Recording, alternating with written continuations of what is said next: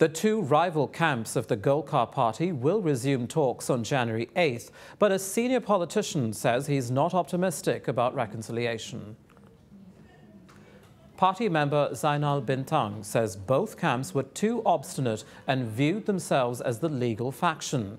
Politically, both factions differ. One wants to remain in the opposition red and white coalition, while the other wants Golkar to pull out. Zainal says the only way out of the current rift is to take the case to court.